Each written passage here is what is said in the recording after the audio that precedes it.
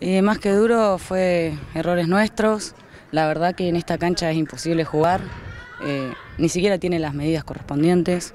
No estaba habilitada, no sé qué pasó último momento y se complica, se complica porque es un espacio muy chico, nosotros no tenemos luego espacio para jugar y la verdad que era imposible. Era imposible jugar con la pelota por el piso. Nosotros nos favorece más una cancha mucho más aceptable que esto, eh, la pelota picada para cualquier lado, no y la pelota de aire no es lo nuestro, nos gusta jugar más por el piso.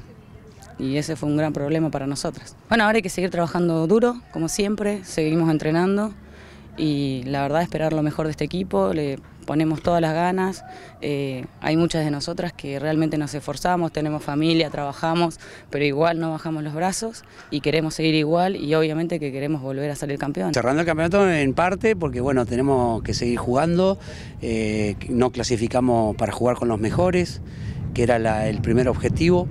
Pero bueno, ahora el otro objetivo que es jugar con los cinco equipos que quedaron en, la, zona repechaje, poder clasificar entre los dos primeros para jugar, y como es todo el año, para estar entre los ocho mejores y seguir.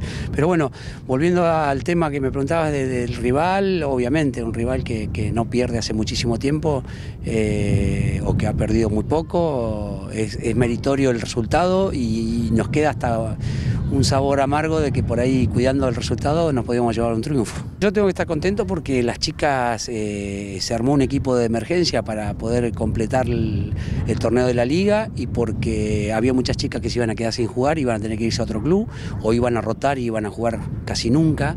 Entonces yo no puedo exigir demasiado a este equipo y por suerte tenemos un montón de chicas que, cumplen, otras que no cumplen, pero bueno, es, eh, eh, es así el ambiente del fútbol femenino. Eh, te llevas muchas decepciones por ahí con las jugadoras que están pensando más en salir de la cancha para ir a jugar un partido de futsal o, no te cumplen porque no quieren jugar o porque tienen otros compromisos. Entonces, siempre hay que tener jugadoras y como nosotros tenemos una escuela de fútbol con juveniles, eh, eso no me preocupa porque siempre voy a tener jugadoras. Hoy me gustó que, la actitud que pusimos para defender, sobre todo en el segundo tiempo. Eh, las chicas, obviamente, antes para jugar contra un rival como el Huracán, eh, siempre hay un cierto temor, nervio, pensás que te van a golear y terminar un 3 a 3 realmente están recontentas y bueno, esto sirve para motivarse y que cumplan más con los entrenamientos.